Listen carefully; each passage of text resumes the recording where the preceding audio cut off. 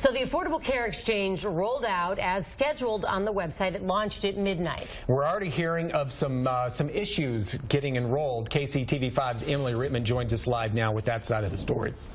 Yeah, Dave, our executive producer tried to enroll in Missouri's online healthcare marketplace, and it turned into a difficult task. He received numerous error messages, and he eventually got to talk to a member of the Health Insurance Marketplace live chat. The member apologized for the inconvenience and said the site is very busy right now due to the volume of traffic. And he also said the site is, quote, experiencing a few technical difficulties, end quote. The Health Insurance Marketplace will officially open at 8 a.m. Eastern Standard Time to accept applications.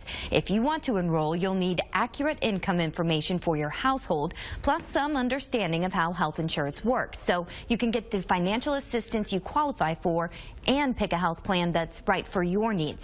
The process involves federal agencies electronically verifying your identity, citizenship, and income, and you have to sign that you are providing truthful information, which is subject to perjury laws.